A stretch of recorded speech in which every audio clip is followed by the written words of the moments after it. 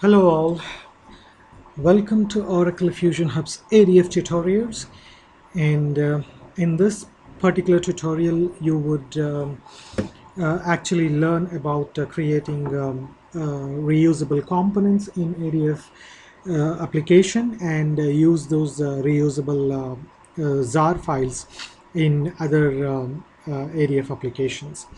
So um, in order to demonstrate this, we need uh, JDeveloper. And uh, please note that uh, I am using Oracle JDeveloper uh, version 12c and hence there might be uh, cases where uh, the UI, uh, the feature options that I show here might differ with the features that you see or the navigations you see in your JDeveloper ver- version. So um, if that's the case, then um, please note that I'm using uh, uh, 12c version and you might be using a lower version. So uh, in order to demonstrate uh, uh, this reusable component feature, uh, I'm going to create a new application and that would be ADF Fusion application. Click on OK.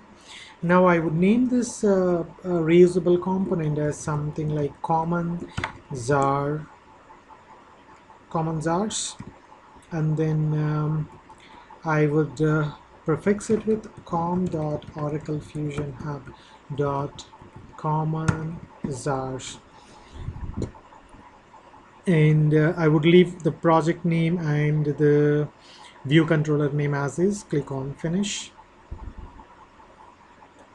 So now I would scroll it a little bit further. So now I have a model and view controller created. So this would act as a common um, JAR files for my um, other area of applications. So right now I'm not going to write anything into this model and view controller. You can in fact uh, create your own page templates. You can in fact create your own um, uh, BC4J uh, UI, I mean BC4J uh, implementation methods or whatever. So right now I'm not going to do that and probably in the subsequent tutorials I might show you like how to uh, add other um, methods or uh, the page templates or the page fragments to this common and uh, call these uh, uh, components from uh, a regular ADF application. So for, for, for this particular tutorial, I'm going to show you how to uh, deploy this particular common JAR file, uh, common JAR application as a JAR um, uh, file and uh, how to call that particular uh, JAR file or the import per that particular JAR file into the ADF uh, application.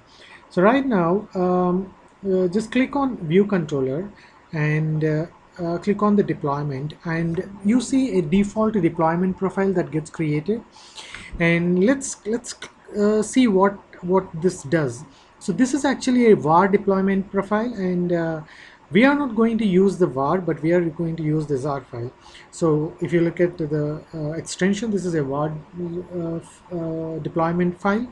So what I'm going to do is I'm going to delete this particular deployment profile and I'm going to create my own uh, deployment profile and I would name this as common JAR deployment file. And this is ADF library JAR file. I'm, I'm just going to create a JAR file. Click on OK. And uh, in the JAR file give a proper location where you want to see your JAR file located. So um, mm, I'm going to put this in uh, um, somewhere okay um, uh, right now I'm going to put it in my uh, my work common JARs so that would uh, suffice. So I think um, uh, okay. I would put it in uh, common JARs and uh, I would name this as common JARs dot JAR so I think this would uh, make it a little bit normal but again it depends on how you want to organize your stuff so click on OK click on OK and save it So now you have a deployment profile ready and you know where your JAR file is going to uh, situate, going to be situated at.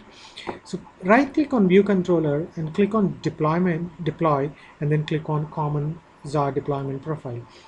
When you are going to import, I mean when you're going to deploy view controller, uh, model will all automatically gets deployed. So you don't need to uh, do that. So deploy to ADF libraries JAR file. That's the action that we have um, selected and it's going to be uh, and moreover cancel before that uh, you go to uh, the view controller edit it and um, um, here it should be build output. You, you, should be for each dependent object to decide whether to include its build output directly in the library or not.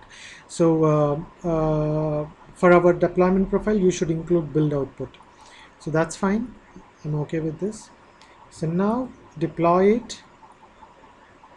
And click on finish. And click on deployment profile and you will see where it is actually deployed. So this is deployed somewhere here what I'll do is I'll just go to this particular path.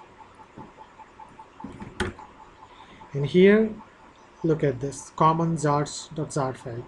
It's been created.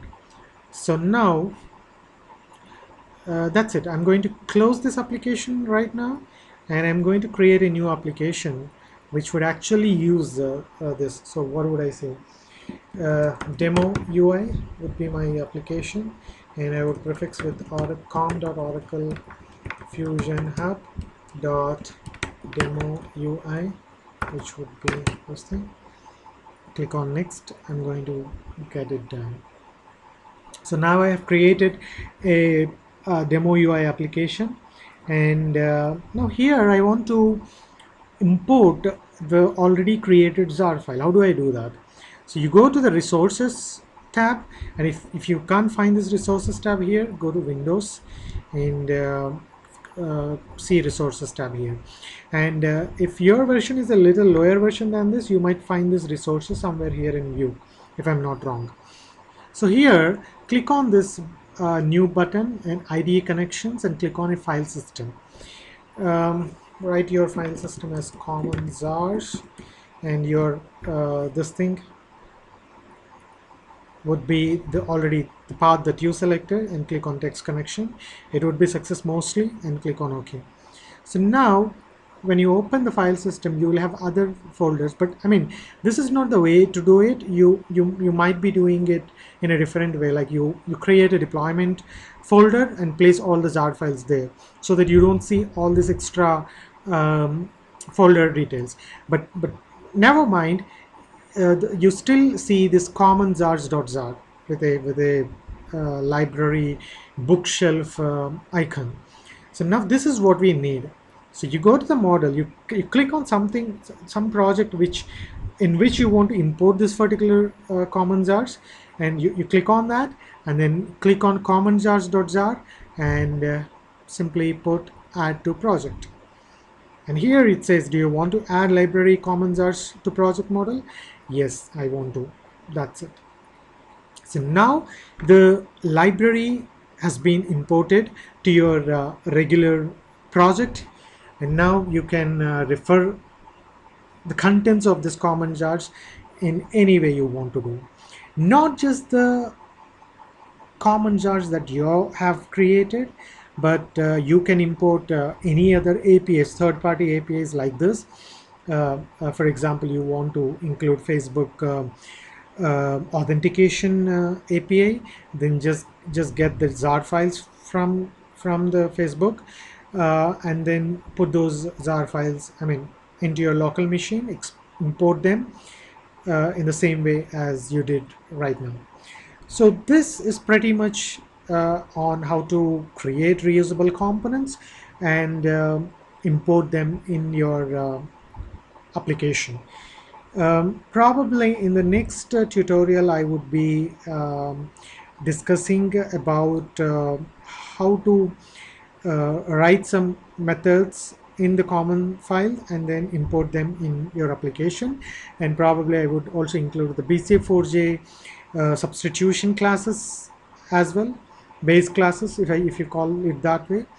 And um, probably yeah that's it so thanks thanks all for watching this video. Have a nice day